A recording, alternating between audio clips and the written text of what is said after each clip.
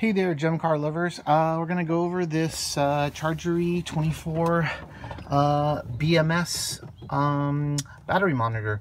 Uh, what's special about this is um, this display has been remotely located to my dash where I can uh, utilize all the information.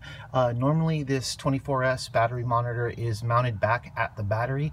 So if the user wants to see any information, they actually have to uh, have it uh, near the battery, and that's not possible. So what uh, David Bissen has done at Omni Electronics, he ingeniously has come up with a way of remoting the display or removing the display from the original battery monitor and um, uh, putting it in a location where the user can see it.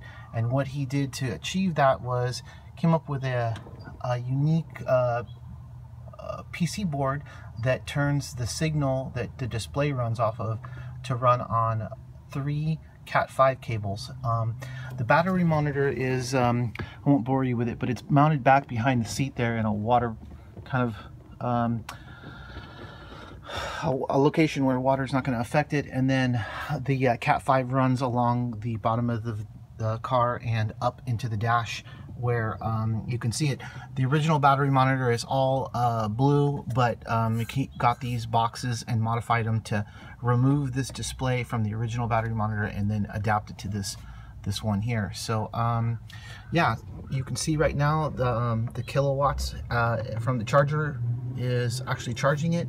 And so you can see right here, we have 10.5 amps going into the system and it's actually counting up.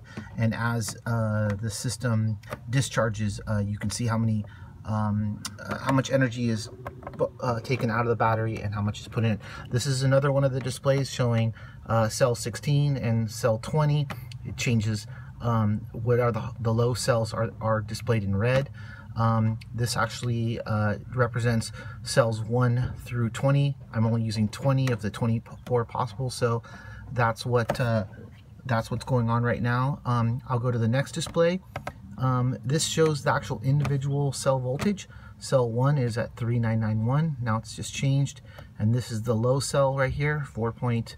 Um, so um, those two cells, cell 1 and cell 20, are the ones that are sort of balancing. Let's go to the next one here. Um, so uh, these has a bunch of different options. This is another display showing, that, you know, we have almost a full charge right here. Uh, this uh, other information on the right is the total pack voltage is 80.14 and it's at 93% of charged. Uh, the high cell is 4.02 and the low cell. So, um, and there's also a um, temp sensor in here. So this uh, battery monitor has quite a lot of information um, to sort of give you an idea of what you need to do when you're driving, either turn back or or continue on. So I'll just toggle through the different um, settings. It also has a ton of other settings that I really haven't played with yet. Like uh, you can uh, program the maximum high and lows for the charger. Those aren't hooked up right now, but those are possibilities. It also has an alarm and several other lights that will alert the user to parameters that you choose to set. So uh, the only other thing I can tell you is as you go into regen, this will go up and you know it'll say uh, it'll say negative 10.5 amps as you're getting on the gas. And then when you let off the gas and go into regen this number will turn to uh, just like that which is there's not a negative in front of it. it so it's showing you that that's what's going in.